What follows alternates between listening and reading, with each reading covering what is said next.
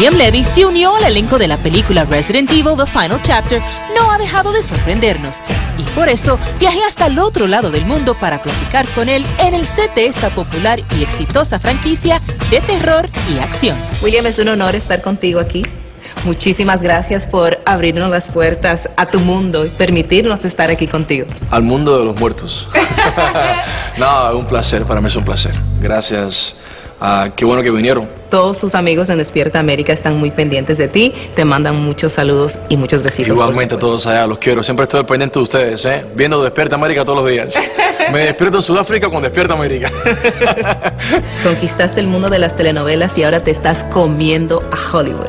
Para mí ha sido una experiencia increíble, Damaris, porque el, trabajar en mercado latino y el aprender de todo lo que se aprende trabajando en mercado latino son, horas, muy duras de trabajo, la verdad.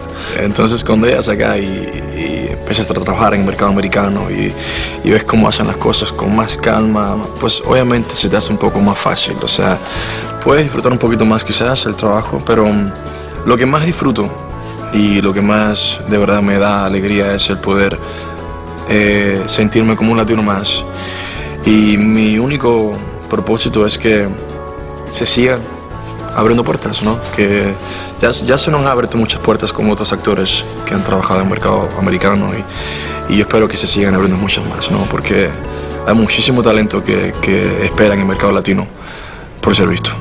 Desde que abordaste ese avión rumbo acá a Sudáfrica, estamos ahí pegaditos a tu Instagram porque subes unas fotos espectaculares. bueno, yo um, uso mucho mi Instagram para, o mi Twitter o Facebook para acercarme un poco a la gente, ¿no? Eh, y bueno, a través de ahí yo pues les estoy dejando saber no solamente lo que hago profesionalmente, sino personalmente y que logren conocer un poquito más de mí y de mi persona fuera del trabajo, ¿no?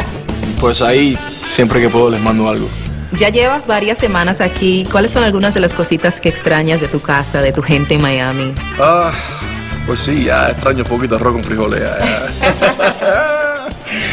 no puedo más, ya, ya. Ya necesito un sándwich cubano, necesito arroz con frijoles, platanito frito. Ya, extraño mucho la comida de nosotros latinos. Acá se come muy rico, pero no, no es lo mismo.